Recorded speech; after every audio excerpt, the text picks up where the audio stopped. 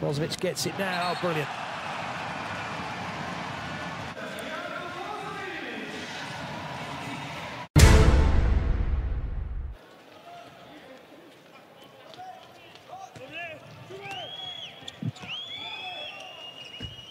Perfect start for Belarus.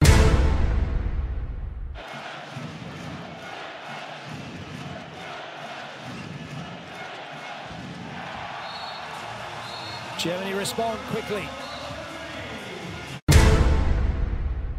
They may just play this coolly enough to get the goal before anything can happen. Well, it's a wonderful goal. The Czech Republic have got level and 30 seconds to go. Seconds to go.